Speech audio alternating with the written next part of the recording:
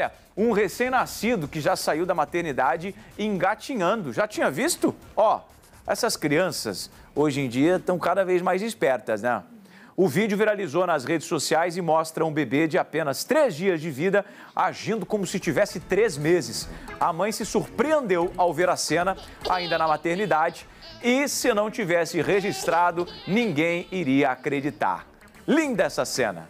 Ó, adorei. Fofura. Giro Brasil.